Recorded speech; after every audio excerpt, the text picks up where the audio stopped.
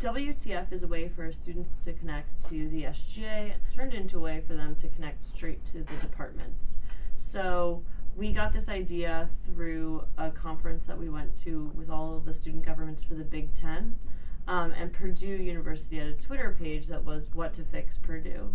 And we thought, oh wow, we can definitely apply this to Maryland. Whenever someone posts something, um, we categorize it. The, the administrators of the page, so that's right now it's Sam uh, Zwerling and Ryan Heisinger and some other people here and there. Um, and they'll assign us um, tasks if it's related to what we do.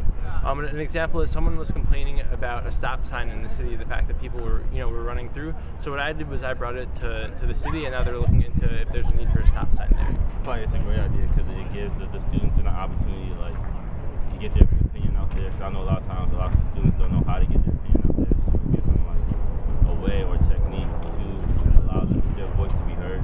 SGA has already responded to some of the things on WTF. So, for example, we kept hearing that students wanted a grocery store bus. So, um, SGA decided to use our own funds and um, and charter a bus. So this weekend and all the way until graduation time, we're going to be having a grocery store bus that runs on Saturdays and Sundays. It serves as like a middleman between like I guess the higher executive board and administration and um, you know us students because there kind of there may be a disconnect. Also with Maryland being such a you know a big institution, um, there kind of needs to be that voice. A lot of them have to do with facilities management. So you know, a light bulb's out here, or they would love a bench. We, we keep hearing about benches and elevators um, are two huge things. With the benches at, uh, at the Montgomery bus stop, um, there's benches there now because so many students um, wanted them. And it's interesting. It's not even just SGA like making the changes. You'll you'll see DOTS and dining services, facilities management. They're all watching. You know, they're all watching the pages. They're all commenting, seeing if there's things they could change based upon student comments there as well.